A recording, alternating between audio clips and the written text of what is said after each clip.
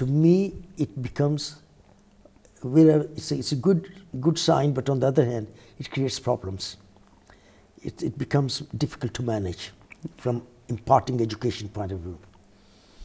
If you see that uh, it is becoming more and more formal in character, Mhm. uh, Like face-to-face component like the is face-to-face component. also included into Yes, the.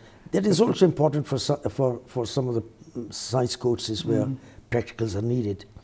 Uh, but still, it, it's uh, I think what we need to do is we have to sustain its distance teaching characteristics more. Yeah.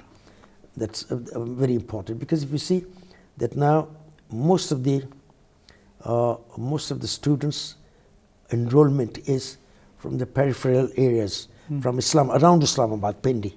Mhm. The the the more farther you go away from the main campus, Mhm.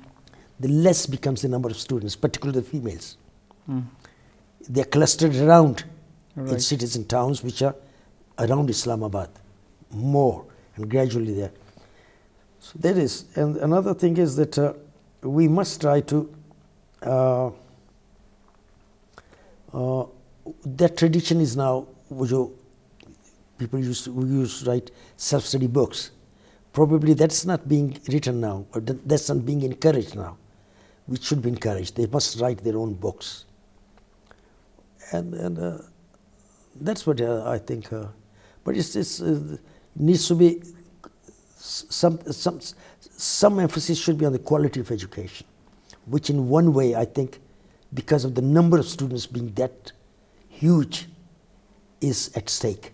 That's what I. Right. I- I- I feel You it. mean that now the focus uh, must be more on quality side Uh, quality, also? quality side, Uh, not on the quantity. That's nice. Sir, thank you very much. Okay, uh, thanks. This evening it, it was pleasure, here. pleasure hearing you. uh, Mm. I really enjoyed. uh, Okay, thanks. stay with you. thanks Thank you much. very much, sir. Okay, Miriam, thanks.